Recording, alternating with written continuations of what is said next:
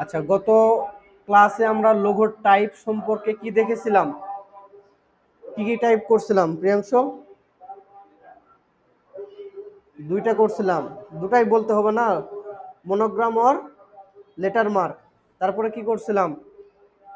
খাতায় লেখা হয়নি। না লিখলে তো এত মনে থাকা তো সম্ভব না। বলেছিলাম তো লোগোর টাইপগুলো না আমাদেরকে খুব ভালোভাবে জানতে হবে তো। লোগো আপনারা আইটিতে থেকে যদি এত ইয়ে করেন, আর যারা ইউটিউবে ভিডিও দেখে তাদের অগ্রসর আপনাদের থেকে বেশি, তাহলে কেমনে হবে? কি কি লোগো দেখছিলাম আমরা? মনোগ্রাম ওর লেটার মার্ক লোগো তারপরে দেখেছিলাম কি? ওয়ার্ড মার্ক লোগো আজকে আমরা আলোচনা করব pictorial mark logo abstract logo mascot logo the convention mark logo এবং এমব্লেম লোগো এই কয়টা সম্পর্কে আলোচনা করব?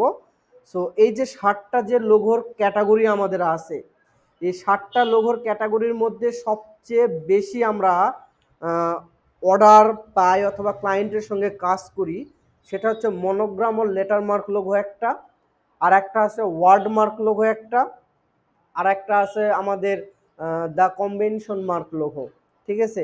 এই কয়টা আমরা সবচেয়ে বেশি পাই। তার প্রুফ হিসাবে আমরা একটু যদি দেখি যে আমরা যে যেমন আমরা কিছুক্ষণ আগে আমরা লোগো তৈরি করলাম, এই যে যে লোগোটা তৈরি করছি, এখানে কি কি ওয়ার্ড আছে? এ সি জে ঠিক আছে? এ সি জে এখানে তার বিশাল মানে লোগোতে সে তার ইনস্টাগ্রাম অ্যাকাউন্টের ইউজার আইডি ব্যবহার করছে, তারপর তার একটা ফোন নাম্বার ব্যবহার করছে এবং সে কি রিলেটেড তার এই লোগোটা এটা হচ্ছে একটা জুয়েলারি শপের লোগো ঠিক আছে? তাহলে এই যে আমরা যে লোগোটা তৈরি করছি অলরেডি কিন্তু আমাদের কি? যে দুইটা লোগোর ক্যাটাগরি আমরা করছিলাম, এর মধ্যে কিন্তু এটা সীমাবদ্ধ ছিল, তাই না? তাহলে আমরা এভাবে যে লোগোগুলো তৈরি করতেছি সো এই লোগোগুলো আমাদেরকে ফার্স্ট টাইম জানতে হবে কোন ক্যাটাগরি আমরা যে ক্যাটাগরিগুলো যদি মেনশন না করতে পারি, তাহলে তো আমরা কি করতে পারব না? লোগো তৈরি করতে পারব না। এখন ক্যাটাগরিগুলো নির্ণয় করতে হলে আমার আমাকে অবশ্যই ক্যাটাগরিতে মুখস্থ রাখতে হবে। তো আমি যে বারবার বলতেছি আপনাদেরকে যে আপনারা ক্যাটাগরি ক্যাটাগরি যেগুলো না সেগুলো মুখস্থ করেন এই নামগুলো মুখস্থ করেন, আপনারা কেউই করতেছেন না, কেউই খাতায় লিখতেছেন না। তাহলে কেমনে হবে? আমাদের স্মরণশক্তি এতই স্ট্রং যে আমরা লেখার কথাই ভুলে যাচ্ছি। তাহলে আমাদের ওই ওটার নাম মনে থাকবে কীভাবে তাহলে? তাই না? আমি বলতে চাচ্ছি, দেখেন আপনারা আইটি সেন্টারের থেকে যতটা ইম্প্রুভ করতেছেন, তার থেকে বেশি ইম্প্রুভ করতেছে কিন্তু আমাদের বাংলাদেশের যে কোনো জেলার ছেলে পেলে যারা কিন্তু আমার ইউটিউবের ভিডিওগুলো দেখে তারা আপনাদের থেকে বেশি ইম্প্রুভ করতেছে।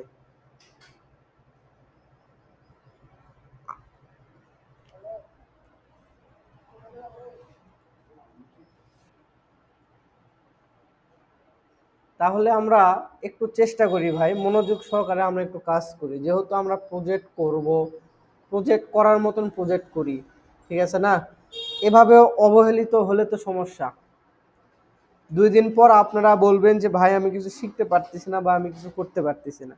কিন্তু যারা আমার ফ্রি ক্লাসগুলো করে তারা ভালো কিছু করতে পারতেছে, না পাচ্ছে আমার সাপোর্ট না পাচ্ছে কিছু, শুধু জাস্ট ভিডিও দেখে করতেছে। তারা আপনাদের থেকে অগ্রসর বেশি।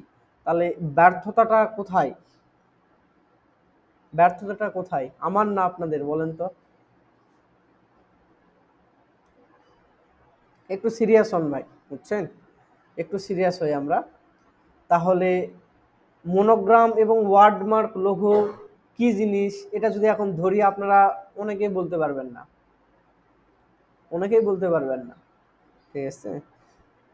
তো এগুলো একটু আমরা ভালোভাবে আলোচনা বা ভিডিওগুলো দেখে নিজেরাই আলোচনা করব। ঠিক আছে? আচ্ছা তাহলে আজকের টপিকস হচ্ছে পিক্টোরিয়াল মার্ক লোগো কি? পিক্টোরিয়াল মার্ক লোগো এই লোগোগুলো ইউজার খুবই কম। এই পিক্টোরিয়াল মার্ক লোগোর ইউজার খুবই কম। দেখা যাচ্ছে যে, যেমন পিক্টোরিয়াল মার্ক লোগোটা কি, এটা আমরা একটু জানি। যে পিক্টোরিয়াল মার্ক লোগোগুলো হচ্ছে সেই লোগো যেখানে কোনো টেক্সট নাই। যা শুধু কি? আইকন অ্যাপলের অ্যাপল লেখা থাকে মোবাইলে ল্যাপটপে লেখা থাকে? কি লেখা থাকে? শুধু অ্যাপলের আইকনটা এই আইকনটা দিয়েই তারা কি করছে? ব্র্যান্ডিং করছে। তাহলে তাহলে অ্যাপলের আইকন দিয়ে যদি তারা ব্র্যান্ডিং করে, তাহলে এইরকম আর দুই একটা কি আমরা দেখছি? আচ্ছা তাহলে পিকটোরিয়াল মার্ক লোকে কি বললাম?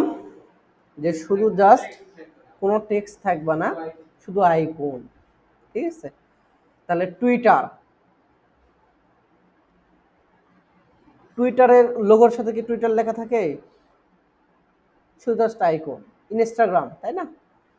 সো এভাবে আমাদের প্রত্যেকটা লোগো যদি এটা সম্পর্কে আমরা যদি আরও বিস্তারিত জানতে চাই, তাহলে এই যে দেখো লিংক আছে এই লিঙ্কে যদি আমরা ঢুকি, তাহলে এই লিঙ্ক থেকে আমরা দেখতে পাবো যে পিক্টোরিয়াল মার্ক কি শুধু আইকনেরই হয় না আদারওয়াইজ কোনো টেক্সট ব্যবহার করেও হয়। এখন বোঝা যাচ্ছে যে টেক্সট ব্যবহার করেও কি হয়? পিক্টোরিয়াল মানে ক্লায়েন্ট যেভাবে নিতে চায় জাস্ট এখানে একটা ক্যাটাগরি মানে মাথা গুলানো যাবে না। কারণ পিক্টোরিয়াল মার্ক লোগো আমি যে বললাম, শুধু আইকন কোনো টেক্সট ব্যবহার করা যাবে না, এমনটা না। মানে ক্লায়েন্ট যদি আপনাকে বলে যে আমি পিক্টোরিয়াল বেস লোগো নিব, তাহলে আপনাকে মাথায় রাখতে হবে পিক্টোরিয়াল মানে মেন থিমটা কি থাকতে হবে? আইকন এখন ক্লায়েন্ট যদি সে এখানে নিচে কোনো টেক্সট ব্যবহার করে, তাহলে আপনি তাকে বলতে পারবেন যে আপনি ব্যবহার করেন না। করতে পারবেন না তো। তাহলে সে চাইলে কি করতে পারে?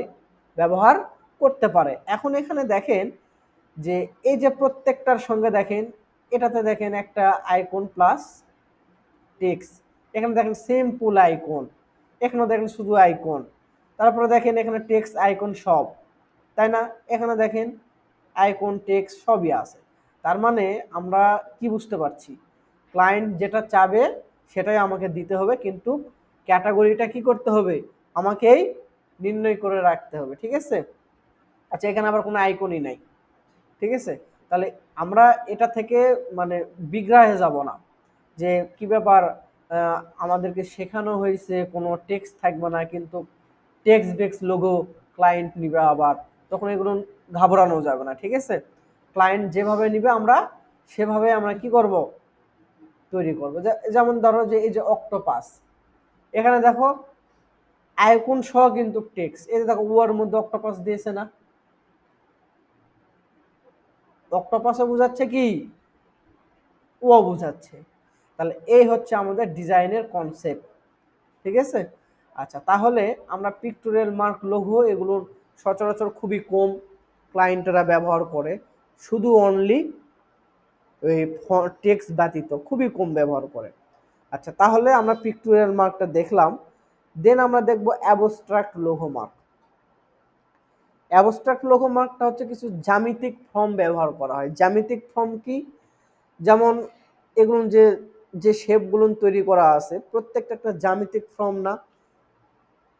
জিওমেট্রিক ফর্ম, জিওমেট্রিক বোঝানো হচ্ছে কি? বিভিন্ন ধরনের শেপ দিয়ে যে ডিজাইনগুলো তৈরি করা হয়। যেমন অ্যাডিডাস। এখন এটা সম্পর্কে যদি আমরা যদি আরও মোর আইডিয়া যদি দেখতে চাই, তাহলে এখানে আবার কিছু ভিন্নতা আছে। মানে এখানে যে উদাহরণগুলো দেওয়া হয়, এই উদাহরণগুলো হচ্ছে সবচেয়ে বড় বড় যে কোম্পানিগুলো, তাদেরকে কি করা হয়? তাদের উপর বেস করে লোগোর ক্যাটাগরি করা হয়েছে। এখন অ্যাবস্ট্রাক্ট লোগো সম্পর্কে যদি আরও জানার প্রয়োজন হয়, তাহলে দেখো, এখানে আইকন আবার এখানে টেক্সট তাহলে এটা কার ভিতরে আবার চলে গেল? পিক্টোরিয়ালের মধ্যে চলে গেল না? আচ্ছা তাহলে আবার পিক্টোরিয়ালের মধ্যে চলে গেল। তাহলে এই জিনিসগুলো নিয়ে কি করা যাবে না?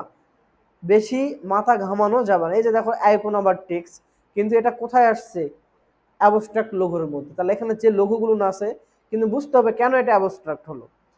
দেখো প্রত্যেকটা যে শেপ তৈরি করা আছে, একটা জ্যামিতিক ফর্ম থেকে না, এখানে একটা জ্যামিতিক ফর্ম থাকে না, এই যে দেখো জ্যামিতিক ফর্ম এটা ধরো জ্যামিতিক ফর্ম তাহলে এই যে দেখো সম্পূর্ণ শেপ অ্যাপ্লাই করে ব্যবহার করা হয়েছে মানে কি? তাহলে এটা হচ্ছে পিক্টোরিয়াল মার্ক লোক ইয়া অ্যাবস্ট্রাক্ট লোগো ঠিক আছে? আচ্ছা তারপরে আমরা আর একটু খেয়াল করি যে ম্যাসকট লোগো ম্যাসকট লোগো আবার কি বলা হয়েছে? যে ম্যাসকট লোগোটা হচ্ছে, আপনার সাপোজ ধরেন প্রিয়াংশু একটা কি করবে? এই রেস্টুরেন্টের একটা দোকান দিবে। ঠিক আছে না? বা রেস্টুরেন্ট প্রিয়াংশন নামে একটা রেস্টুরেন্ট আছে, সে একটা লোগো তৈরি করতে চাচ্ছে যে তার ফেস দিয়েই লোগোটা হোক। যেমন কে এফসি বিশাল বড় তো একটা প্রতিষ্ঠান, তাই না? তো এই কেএফসির প্রতিষ্ঠাতা যে তার নিজের ছবি দিয়ে এটা কি করছে? লোগো তৈরি করছে। তাহলে অ্যাবস্ট্রাক্ট লোগোটা হচ্ছে যে একটা মানুষের হবুহু ছবি বা একটা ফেস অঙ্কন করে যে ডিজাইনগুলো করা হয় সেটা হচ্ছে ম্যাসকটের মধ্যে পড়ে। এখানে যেই ডিজাইনগুলো আছে, এগুলো হবু একটা ছবি না। আচ্ছা এখন এটা সম্পর্কে দেখে এখন যখন আমরা মোর ডিজাইনে যাব আরও ম্যাসকট লোগো সম্পর্কে গভীরভাবে ভাববো তখন যদি ভিতরের দিকে আসি, তাহলে আমরা অনেক কিছু দেখতে পারব। যে দেখো প্রত্যেকটাতে কি আছে?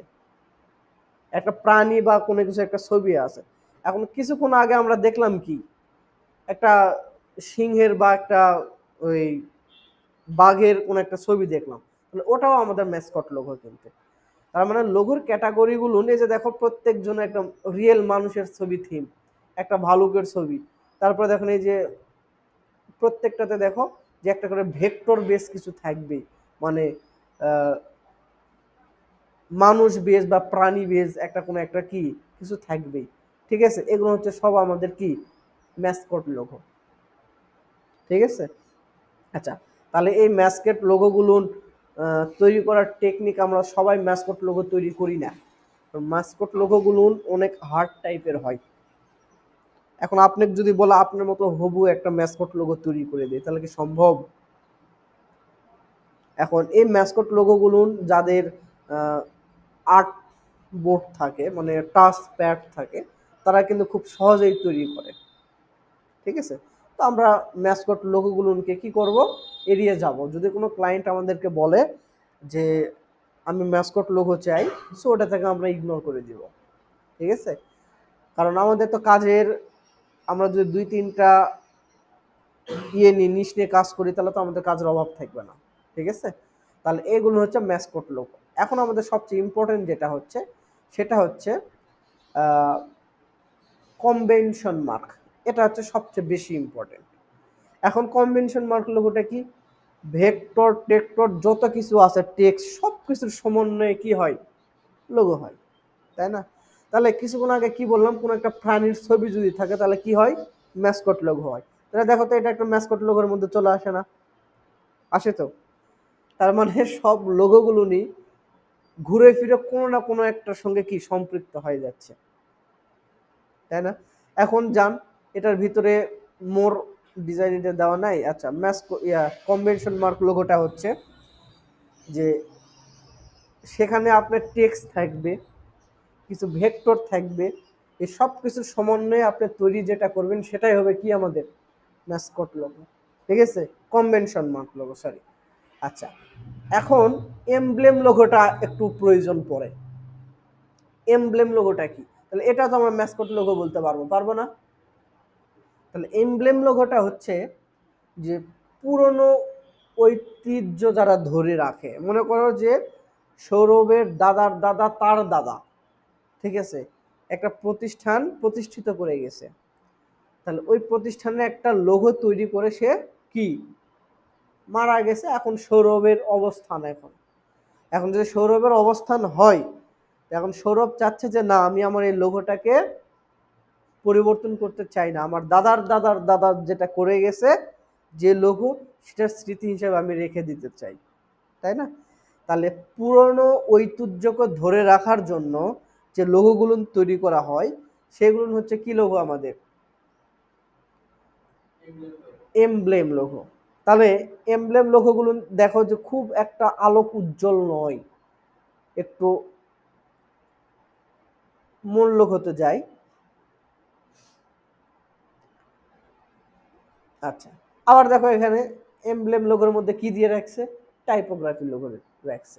এখন এই ফেসগুলো বুঝতে গেলে যে যেমন দেখো, যে পুরনো স্টাইলের না, পুরনো পুরোনো তারপরে দেখা যাচ্ছে যে এই যে দেখো পুরনো ফাটা ফাটার মতন স্টাইল এমব্লেম লোগোগুলো এই যে দেখো পুরনো টাইপের স্মৃতি যেগুলো জড়িত রেখে দেয়, সেগুলো হচ্ছে আমাদের এমব্লেম লোক তো এই যে লোগোর যে সাতটা ক্যাটাগরি আমরা দেখলাম, এই সাতটা ক্যাটাগরির মধ্যে আমরা মানে কনফিউশন হব না।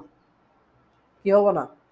কনফিউশন হব না জাস্ট আমাদের নামগুলো মুখস্থ রাখব আর আমাদের সবচেয়ে বেশি প্রয়োজন হচ্ছে যায়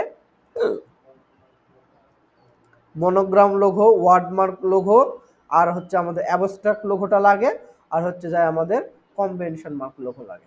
তার মানে মেন এ কম্বিনেশন মার্কও বাদ দিলাম। আমরা দেখব মনোগ্রাম, ওয়ার্ডমার্ক আর হচ্ছে অ্যাবস্ট্রাক্ট লোগো এই তিনটা বোঝা গেছে? হুম? এই তিনটার উপরে আমাদের ফোকাস এই তিনটা জানলে সবগুলো এগুলোর মধ্যে ঢুকে যায়। ঠিক আছে না? মনোগ্রাম লোগো আর ওয়ার্ড মার্ক লোগোর মধ্যে তফাত আছে না? সম্পূর্ণ তো তফাত কিন্তু pictorial mark abstract mark mascot convention mark আর এমব্লেম এগুলো সবটার সাথে কেমন যেন মিশ্রিত মিশ্রিত মনে হচ্ছে না? তাহলে এত বেশি কিছু ভাবা যাবে না। এত বেশি কিছু ভাবলে মাথা পাগল হয়ে যাবে। ঠিক আছে? এত বেশি কিছু ভাবা যাবে না। সো এখন আমরা যেটা দেখব যে আমরা যে লোগোগুলো তৈরি করেছিলাম অলরেডি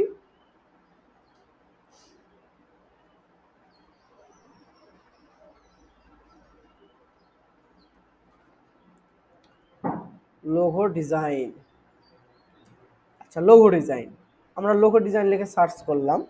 এখন লোগো ডিজাইন লিখে সার্চ করলে আমরা তো কিছু কাস্টম লোগো আমাদের কিছু শিখতে হবে, তাই না? আমাদেরকে কিছু কি? লোগো শিখতে হবে। আমরা ইমেজে আসলাম। আসার পর আমরা এই লোগোগুলো কীভাবে তৈরি করতে হয়, কি করতে হয় বেসিক তো আমরা টাইপোগ্রাফি রিলেটেড কিছু ধারণা তৈরি করেছি, তাই না? এখন আমরা দেখব যে কি ধরনের লোগোর একটা ক্যাটাগরি দেখানো যায়? আচ্ছা।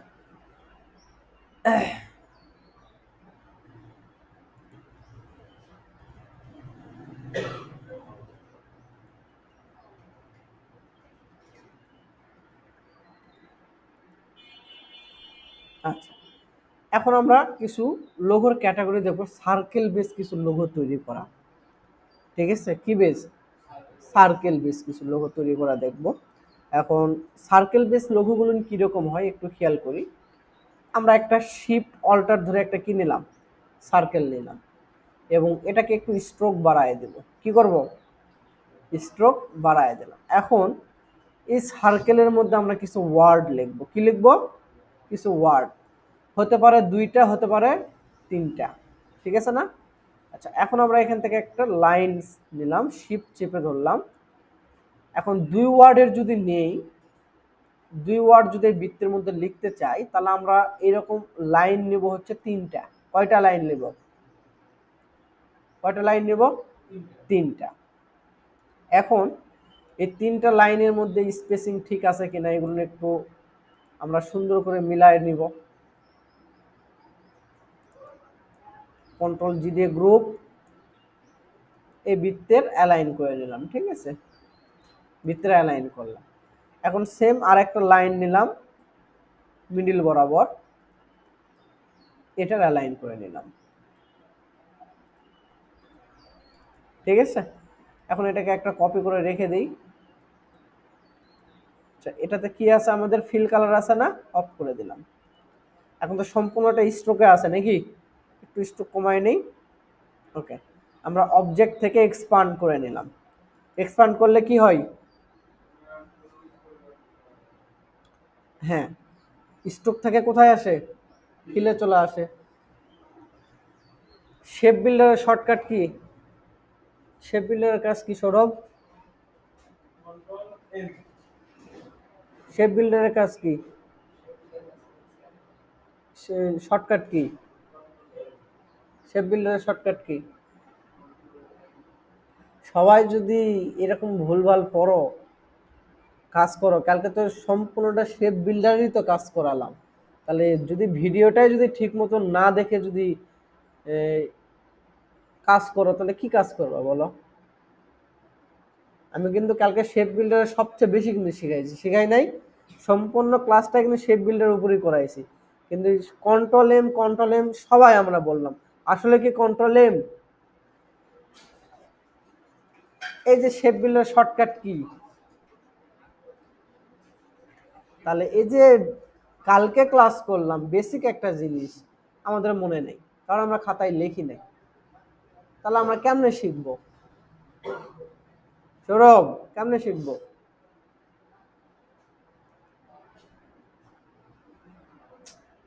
তাহলে শিফট এম তাহলে শিফট এম দিলে কি হয়? শিফট এম দিলে শেপ বিল্ডার তাহলে অল্টার চেপে ধরলে বাড়তি অংশগুলো আমরা কেটে দিলাম। ঠিক আছে? এখন এই বৃত্তের মধ্যে থেকে আমরা ওয়ার্ড তৈরি করব। কি করব? ওয়ার্ড তাহলে আমরা দুইটা ওয়ার্ডে ভাগ করে নিই। ঠিক আছে? আচ্ছা একটা বেশি হয়ে গেল। দুইটা নিলেই হয়ে যায়।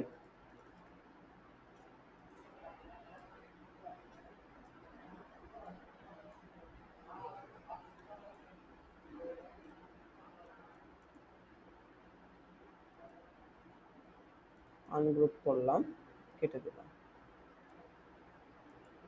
এটাকে আমরা দুইটা ওয়ার্ড লিখব, ঠিক আছে? এই দুইটা ওয়ার্ডকে আমরা এটা অ্যালাইন করে নিলাম।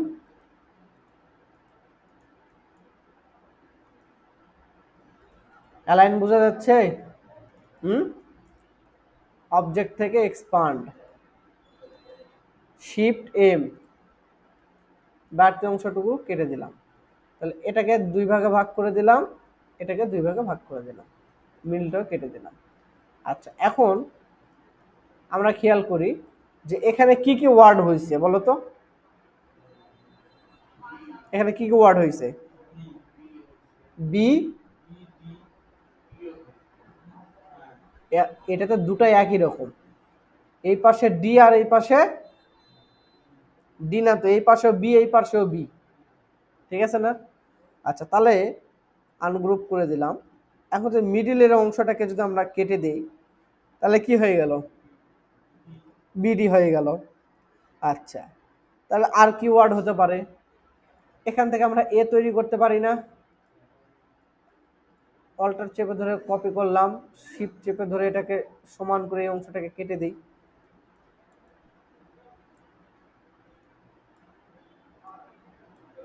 শিফট এম কেটে দিলাম।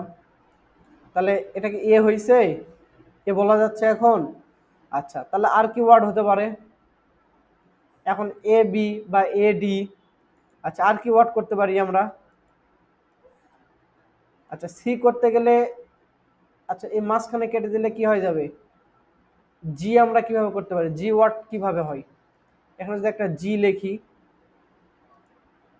টাইপ কেস আপার কেস তাহলে জি যদি লিখি, তাহলে মিডিলে উপরে ফাঁকা রাখতে হবে। তার মানে কি? আমরা এটাকে এখানে রাখলাম, ঠিক আছে? তাহলে জি করতে হলে কোথায় কাটতে হবে আমাদেরকে? হুম? এভাবে রাখতে হবে না। একটু ফাঁকা করে রেখে দিতে হবে না। তাহলে কাটতে হবে কোথায়? উপরে। তাহলে উপরে যদি কাটা যায়, তাহলে আমরা একটু শিফট এম ধরে কেটে দিলাম। আচ্ছা। শিফট এম আচ্ছা এটা এটা কি জি মনে হচ্ছে? এগুলো ক্রিয়েটিভ জি এগুলো, ঠিক আছে? জি তো মনে হচ্ছে নাকি? জি এর শেপটা দেখো। ঠিক আছে না?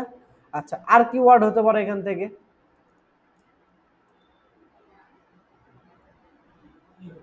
পি কীভাবে করা যাবে? পি লিখি এখানে। টাইপ কেস আপার কেস তাহলে পি কীভাবে হবে এখানে? পির শেপের শর্ত কি? এখান থেকে জাস্ট এভাবে লাগানো থাকবে, তাই না? আচ্ছা তাহলে লাগানো যদি থাকে, তাহলে আমরা এটাকে কন্ট্রোল জেড দিলাম। আচ্ছা লাগাই দিলাম এখানে। তাহলে পিটা লিখি। তাহলে এই ঠিক আছে জাস্ট আমাদের কতটুকু অংশ কাটতে হবে তাহলে? এই পুরো অংশটুকু না? সিলেক্ট করলাম শিফট এম কেটে দিলাম। পি হয়েছে আচ্ছা পির পরে আমরা কি করতে পারি? আর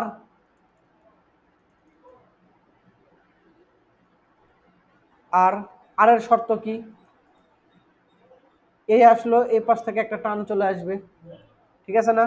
তাহলে যদি টান চলে আসে, তাহলে আমাদেরকে প্রথমেই এই লাইন সেগমেন্টটা সেম স্ট্রোক নিয়ে এখান থেকে বাড়তি করে দিব। কত স্ট্রোক ছিল আমাদের?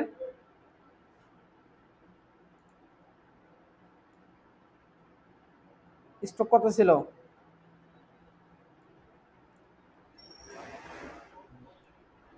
আচ্ছা স্টকগুলো সেম ষোলো ছিল মেবি এটাকে আমরা অবজেক্ট থেকে এক্সপান্ড করে নিলাম। ঠিক আছে না? সিলেক্ট করলাম শিফট এম বাড়তি অংশগুলো কেটে দেই। ঠিক আছে না? আর হলো, হুম? তাহলে এভাবে পর্যায়ক্রমিকভাবে আমরা লেটার তৈরি করতে পারব। করা যাবে? আচ্ছা এই একটা স্টাইল গেল আমাদের লোগো স্টাইল এখন কাস্টম হিসেবে আমরা কিছু ডিজাইন তৈরি করতে চাই।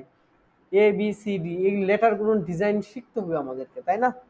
এখন সাপোজ ধরলাম আমরা এ বি সি ডি এই তিনটা দেখি দেন আমরা আলাদা আলাদা ডিজাইন তৈরি করব, তাই না? এখন এ বি সি ডি আমরা তৈরি করব। তাহলে আমরা এখান থেকে একটা রেক্টেঙ্গুলার নিচ্ছি।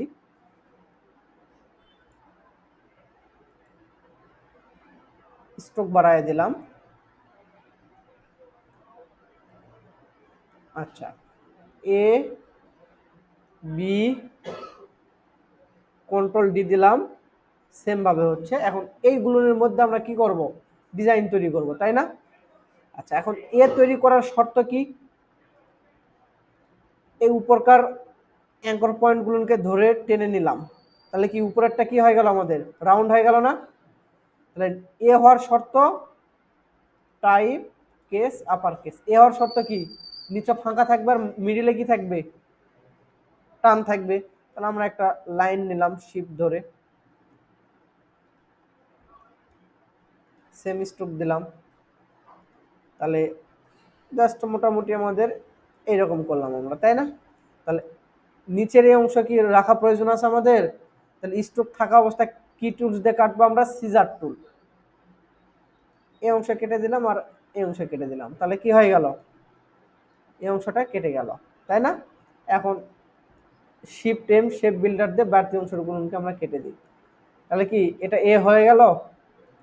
এটা একটা কাস্টম এ না। নিজের তৈরি করা এ না এটা। আচ্ছা এখন বি হওয়ার শর্ত কি এখানে?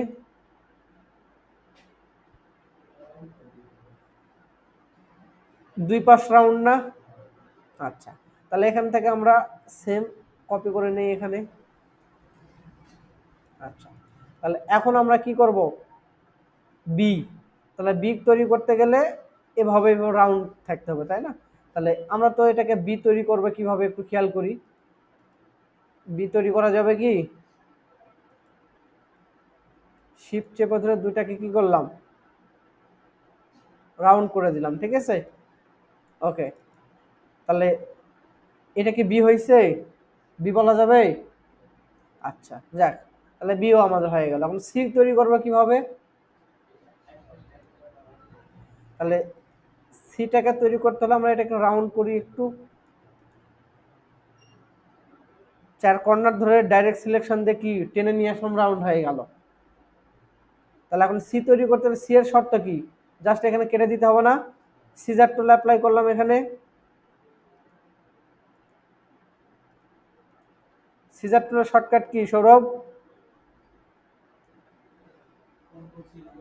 সিজার টুলের শর্টকাট কি? Scissor C. তাহলে এই যে শর্টকাট জানো না, তাহলে কি ডিজাইন হবে? সি হয়ে গেল না এখানে? জাস্ট এই অংশটা রাউন্ড করতে হলে কি করতে হবে? এই যে স্ট্রোক স্ট্রোক থেকে ক্যাপ থেকে রাউন্ড ক্যাপ। সি হলো এখানে, এখান থেকে টেনে নিয়ে আসলে জিও হয়ে যাবে। আচ্ছা এখান থেকে কি? ডি। ডি তৈরি করা তো অনেক সহজ। এই দুটাকে সিলেক্ট করলাম। ডি হয়ে গেল, তাই না? আচ্ছা ও তৈরি করা তো আরও সহজ। ও তৈরি করা সহজ না? এই ডাইরেক্ট সিলেকশন দিয়ে জাস্ট টেনে নিয়ে আসলাম, ও হয়ে গেল। তাহলে এই যে কাস্টম যে ডিজাইনগুলো তৈরি করলাম, এই ডিজাইনগুলো আমাদের অনেক অনেক কাজে লাগবে। অনেক কাজে লাগবে। আমরা কাস্টম লেটার এভাবে তৈরি করতে হয়। ঠিক আছে? ওই যে ক্লায়েন্ট কিছুক্ষণ আগে কিছু কাস্টম ডিজাইন দেখাল না। তাহলে এভাবে আমরা কি করতে পারি? বিভিন্ন লেটার তৈরি করতে পারি। ঠিক আছে? তাহলে এভাবে আমরা এই আমি যেভাবে ভিডিওতে শিখালাম, আমরা চেষ্টা করব এই ডিজাইনগুলো নিয়ে আগে তৈরি করার। ঠিক আছে? নেক্সট দিন আমরা আরও ভালো ভালো কিছু লোগো তৈরি করা শিখব। ঠিক আছে? আর চার পাঁচটা ক্লাস নিব লোগোর উপরে। ঠিক আছে? তাহলে আমরা এই ভিডিওটা ভালোভাবে, ভিডিও দেখব আর আমি কোথায় কোথায় কি বলতেছি। আর অবশ্যই শর্টকাটগুলো ভালো করে খাতায় লিখে রাখব। উল্টাপাল্টা বলে লাভ নাই তো, লাভ আছে? ভুলভাল শিখে লাভ আছে? তাহলে ভালোভাবে আমরা চেষ্টা করব, ঠিক আছে?